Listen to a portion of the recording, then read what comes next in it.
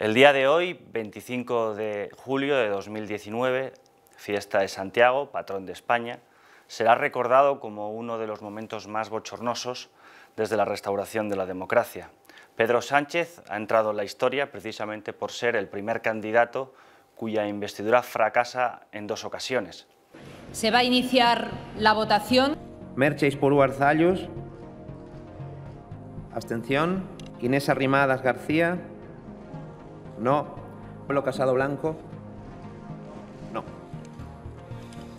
Él dirá que en las dos ocasiones el causante de ese fracaso fue Pablo Iglesias, pero en realidad si atendemos a las propias palabras de Pedro Sánchez, en otra ocasión en la que era Mariano Rajoy el candidato a la investidura, el principal responsable es siempre el candidato que es a quien el rey propone para que recabe los apoyos necesarios para asegurarse el éxito de su investidura.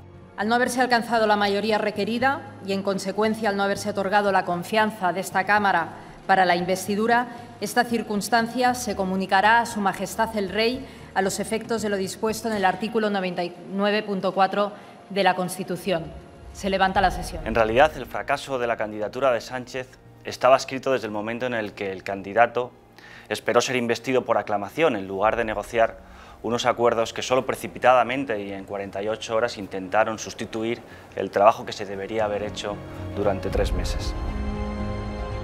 Los españoles se preguntan ahora dos cosas. La primera es quién es el mayor responsable del fracaso de la investidura, si Pablo Iglesias o Pedro Sánchez, y los partidos respectivos van a preocuparse de poner en marcha la maquinaria de la propaganda para culpar al otro e imponer el relato de la inocencia propia. La segunda pregunta es qué va a pasar a partir de ahora, y hay tres escenarios posibles. El primero de ellos es, quizá el más verosímil, es una repetición de una sesión de investidura donde Sánchez, esta vez sí, consiga recabar de Iglesias previamente a su visita al rey los apoyos que le garanticen ser investido con éxito y en la que Pablo Iglesias, supongo, tendrá que rebajar las expectativas de sus demandas de cuota de poder en el Ejecutivo.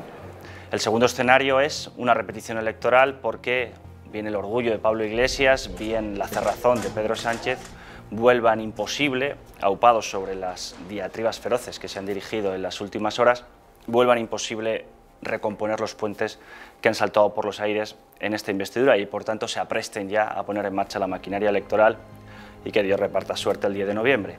El tercer escenario, también previsible, es que se activen otra vez las presiones sobre PP y Ciudadanos para lograr una abstención de Pedro Sánchez. Es el menos verosímil de los resultados, porque Pedro Sánchez no creo que después de todo lo que ha hecho hasta ahora y de la campaña permanente de demonización de las tres derechas a la que se ha dedicado prácticamente desde que llegó a la Moncloa, pueda conceder a PP y a Ciudadanos algún argumento mínimamente sólido para ser presidente gracias a sus apoyos. El espectáculo que han dado ha sido bochornoso. En vez de aprovechar estos tres meses para pactar civilizadamente, han sometido a España a un zoco de vanidades que no merecemos. Sea como sea y pase lo que pase, el 25 de julio de 2019 será recordado también como el día en que Pedro Sánchez le dio por fin la razón al difunto Alfredo Pérez Rubalcaba. Rubalcaba advirtió de que para un partido sistémico como el PSOE era imposible gobernar España con el apoyo de Podemos, del separatismo catalán responsable de un golpe de Estado y de Batasuna.